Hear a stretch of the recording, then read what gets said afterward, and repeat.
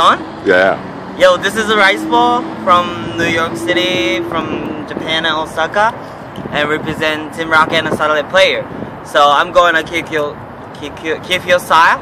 Yeah, Kiff Your Style in Montreal. So hope to see you there.